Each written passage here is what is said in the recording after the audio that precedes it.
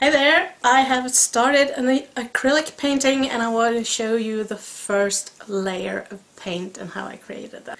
Hi there, I'm Linda Skien. I am a mythical artist based in the Norwegian mountains and today I am starting my painting of a mythological rooster.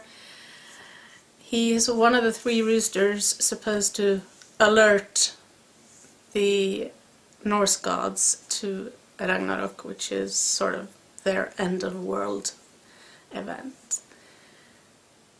I hope you like it. It's remember it's just the first layer. It's supposed to look like crap. it's the underpainting. It's not anywhere near finished. But at least you can see it's a rooster.